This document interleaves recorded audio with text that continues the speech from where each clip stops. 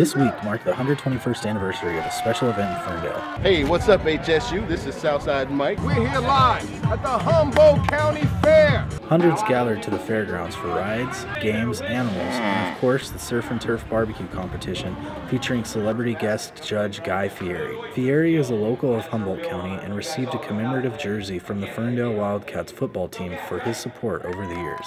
Be sure to check out the fair, or in Fieri's own words, If you're not here, you're missing it. this is Ian Thompson reporting for the Lumberjack.